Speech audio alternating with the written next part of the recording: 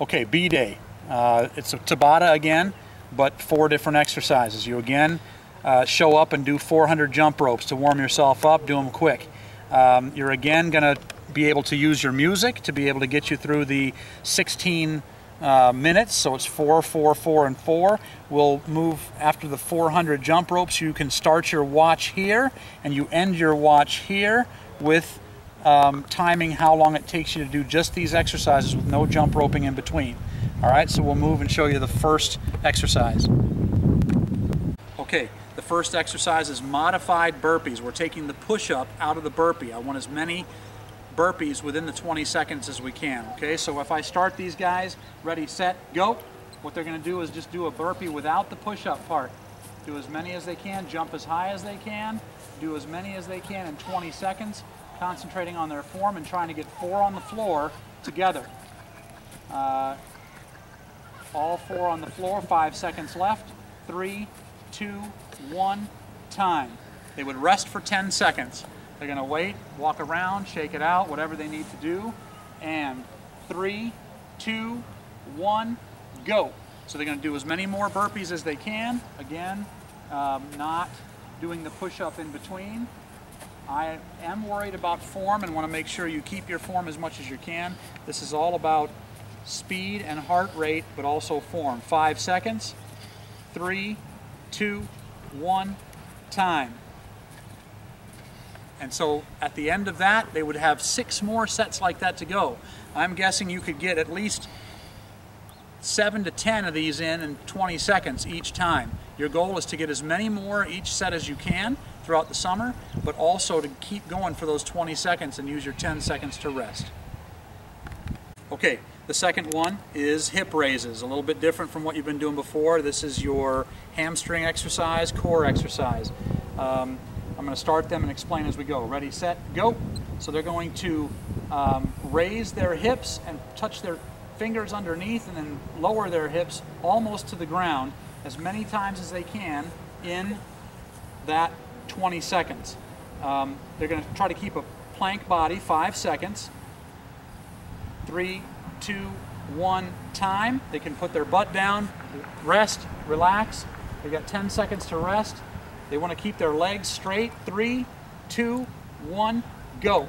All your power is coming from your hamstrings and your hips. You're trying to be straight as a board when you're up and almost touching when you're down. It looks like it's easy, but it's not. Um, they're going to do as many again as they can in this time without worrying about a number to reach. Three, two, one, time. So they've got 10 seconds to rest before they start their second minute, and then they would go around again, again, and again until they got to four, four minutes. Again, the form is important here, and this is kind of an evening out exercise from all the pushing exercises we had the first day. This is more of your pulling muscles, your hamstrings, which is very important, and your core from, from kind of the back angle, all right? So we'll move on to the third one. All right, third exercise is T rotations. It's a core exercise, but also shoulders and some um, some some back muscles and that sort of thing as well. But what we're trying to do here, they go ahead and start. Ready, set, go. They're going to be in push-up position. They are going to open into a T shape to each side, as many as they can in 20 seconds, keeping a plank body, plank body. Their feet, if you notice, can go side by side. Three, two, one, time. So then they can rest, shake it out, do whatever they need to do, get as many as they can in these next 20 seconds. Ready, set, three, two, one, go. Again, as straight a plank body as you can get. Try not to have a lot of bend to it. Don't have your butt in the air, don't sag either. You can use your feet to rotate like that so you can keep your balance. And open all the way out. Open your shoulders. Look straight ahead. Two, one, time. They would rest again. They would get as many as they can, three more times through, three more minutes through, six more sets through. At the end of that, their watch keeps going, but you can stop the music, as I said last time, and start your fourth set when you're ready. All right, last one is pull planks. And again, 20 seconds on, 10 seconds off, eight times through. If you watch them, ready, set, go.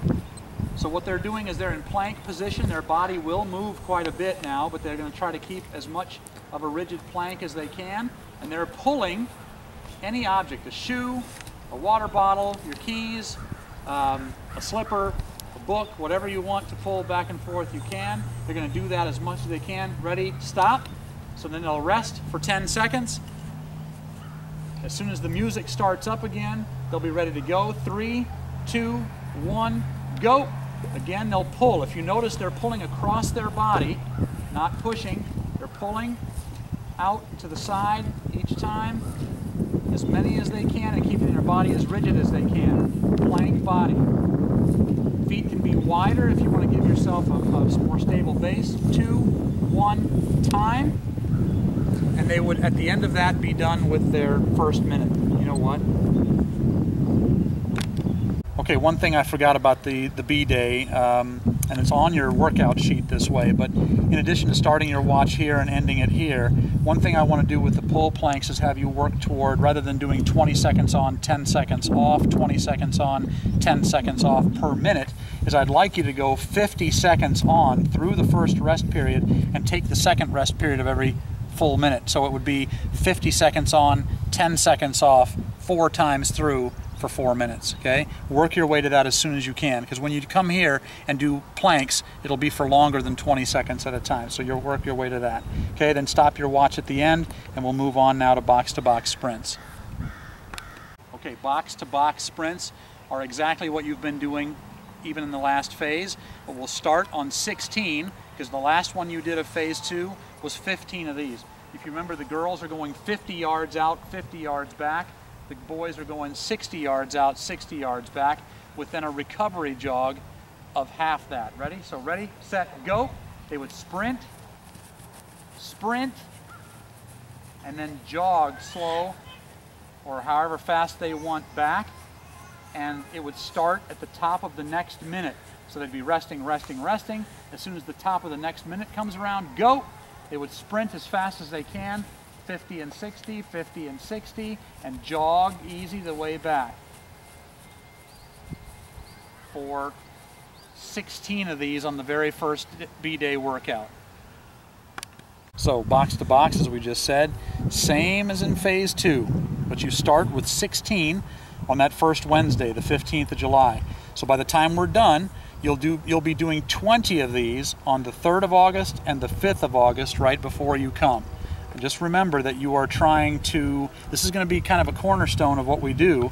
Um, we'll change the distances, we'll change the way we sprint, but sprint work is essential for a soccer player. So make sure you have this down more than almost anything else that you do.